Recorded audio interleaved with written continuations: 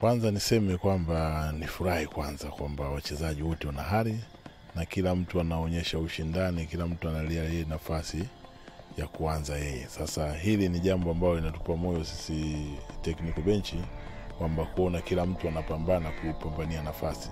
Kwa hiyo mtu anapoanza kupambania nafasi, ujue na kwenye kupambania timu yake itakuwa ni simple kabisa. Sasa mimi nishukuru, niwapongeze wachezaji kwa jinsi sasa wamejitambua, wanajua nini wajibu wao na wanajua nini majukumu yao ya kazi. Kwa hiyo kila mtu anajituma, anaonyesha kwamba anataka kufanya jambo katika kuisaidia timu yake.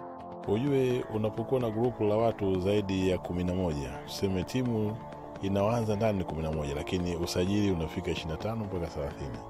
Sasa unapotumia wachezaji wachache katika mechi kila siku ndo hao hao, unashindwa kufanya mpangilio wa kufanya rotation, basi unawaua watu wengine wale ambao hawapati nafasi, na wale wanaopata nafasi vilevile unawaua, kwa sababu ili wale wapate nafasi, na maana lazima wafanye mazoezi na wenzao.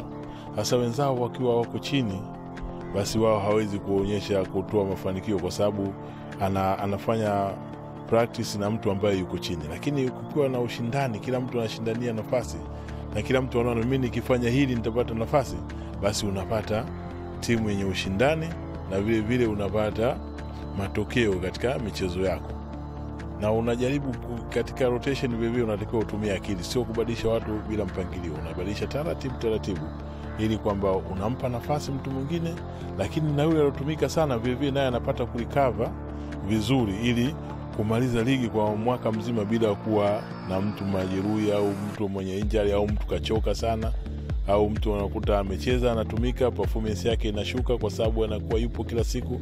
Lakini kukuwa na rotation namna hii, mtu anapata recover nzuri, anaweza kucheza michezo yake vizuri akiwa katika performance yake ile ile.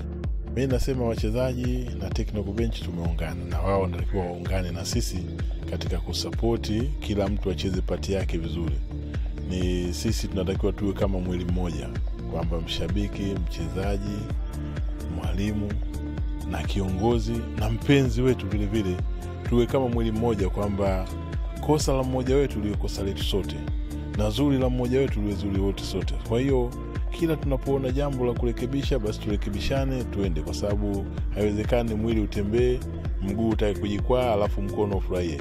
Nafikiri mkono au jicho kama utaona hapa mguu utajikwaa, utajaribu kuepusha mguu usijikwae. Na sisi na wapenzi wetu na wa viongozi na washabiki wote tunatakiwa tuwe hivyo. Nafikiri tukiwa hivyo mambo yatakuwa rahisi na kila siku tutapata furaha.